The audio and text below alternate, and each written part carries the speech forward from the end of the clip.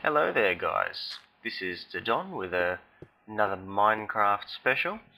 This particular one is yet another preview for my upcoming adventure map.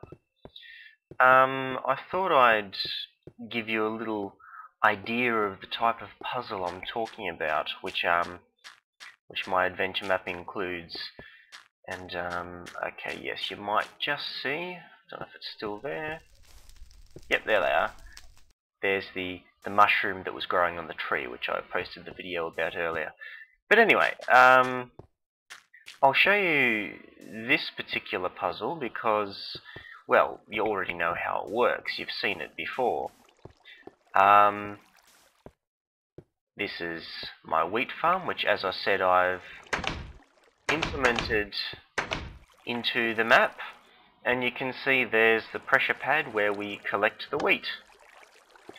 Um, and this is the pressure pad that opens the door. Um, the type of puzzle I'm talking about, um, if I wish to collect the wheat, I'll do so like this. The type of puzzle I'm talking about um, is like this. There we go. And you can see it opened up a magic door, a secret door, not magic. Why did I say magic? I don't know. But basically the combination of the wheat being on that pressure pad there and the sword being on that pressure pad there open the secret door down here. And look, you found a secret. Yay, okay. Um, the secret is just showing off how all the redstone works for the above contraption. Which, um, you know, for somebody like me playing a, a, an adventure map, that would be reward enough. But oh no, no, no, no, that's not all. There is also to be a scoring system. Uh, just to show off how many of these secrets you discover.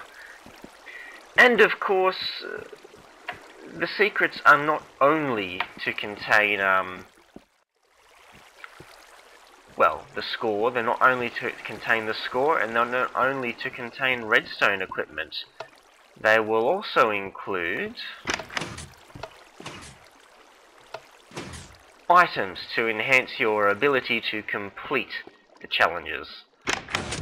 So, you know, armor, swords, axe, you know, things like that. Um, I think that's about all I really wanted to point out in this particular puzzle.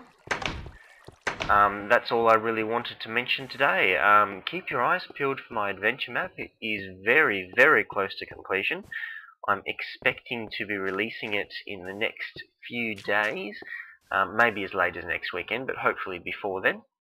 Um, yeah, I think that's about wraps it up. See you later.